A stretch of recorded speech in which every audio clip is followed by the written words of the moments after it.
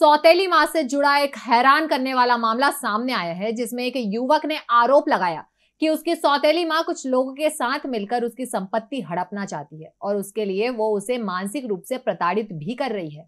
मानसिक प्रताड़ना का ये मामला रुड़की का है, जहाँ सलमान कॉलोनी के रहने वाले सादिक अली ने बताया कि उसकी माँ का देहांत होने के बाद उसके पिता ने दूसरी शादी कर ली थी। पिता की देखभाल और उनकी ज़िम्मेदारी को लेकर सौतेली माँ को वह पैंतालीस लाख रुपए भी दे चुका है और प्रत्येक माह उनका खर्चा ऑनलाइन भेजता है। लेकिन अब उसकी सौतेली माँ षड्यंत्र रचकर जबरन उसकी संपत्ति कब्जाना चाहती है। सादिक का आरोप है कि सौतेली माँ कुछ दबंग लोगों के साथ मिलकर उसका मानसिक उत्पीड़न कर रही है।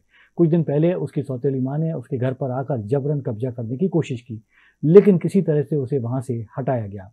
सादिक ने इस मामले की शिकायत पुलिस थाने में की है। अपनी सौतेली माँ और अन्य साथियों से जान माल का खतरा बताते हुए सादिक ने पुलिस से इंसाफ की गुहार लगाई है। मेरा नाम सादिक है और मैं रुड़की का रहने वाला हूँ।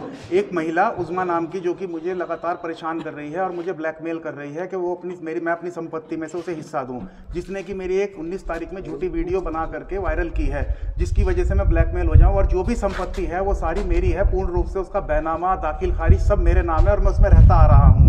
और वो उन्नीस तारीख को अपने कुछ साथियों के साथ मेरे घर पे आई और चढ़ाई की घर पे आकर के। और उसने ताले तोड़ने की भी कोशिश की, जिसने की एक झूठी वीडियो बनाकर वायरल कर दी मेरे पिताजी की, कि इसमें इन्होंने अपने पिताजी को, जबकि हम पैंतालीस लाख रुपए दे चुके हैं उसको, और बीस हज़ार रुपए महीना भी मैं दे रहा हूँ अपने पिताजी का खर्च के लिए। जब भी वो और पैसों का लालच करते हुए मेरे घर पे आई और मुझे बहुत ब्लैकमेल किया और मुझे ये भी बोला गया कि तेरे अगर ये यहाँ नहीं है तो इसके बच्चों को स्कूल में भेज के दिखवाऊँगी।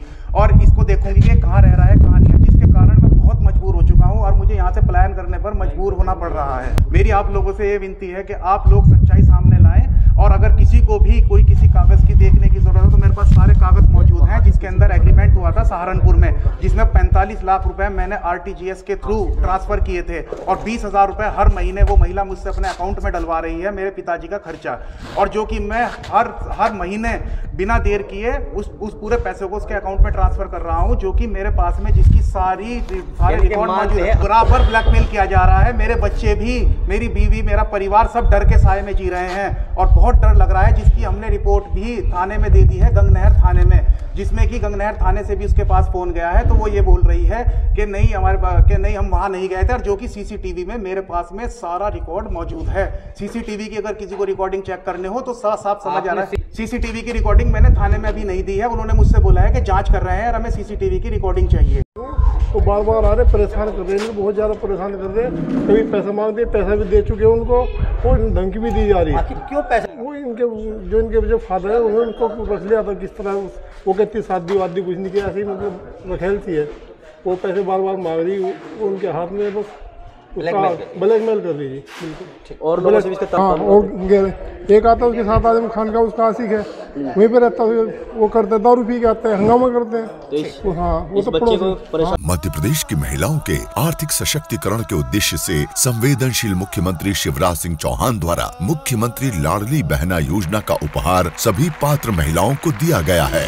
इसके तहत उन्हें प्रति माह एक हज़ार रूपए दिए जाएँगे। ये राशि सीधे उनके बैंक खातों में पहुंचाई जाएगी। योजना की प्रक्रिया बेहद सरल और निशुल्क है।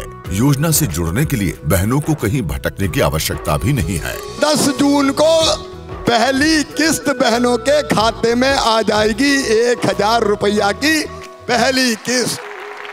योजना से जुड़ी अधिक जानकारी helpline number zero seven double five two seven double zero eight double zero एवं website C M Ladli Behna dot M P dot G O V dot in आरोप प्राप्त की जा सकती है। चलो बहना। वो खबरें जो आपके काम की है। वो खबरें जो आपके लिए ज़रूरी है। हर आम और खास से जुड़े मसले। हर मसले का सटीक विश्लेषण। हम करते हैं सत्य का अन्वेषण। दखल न्यूज़। आपके हक में। आप देख रहे हैं दखल न्यूज़।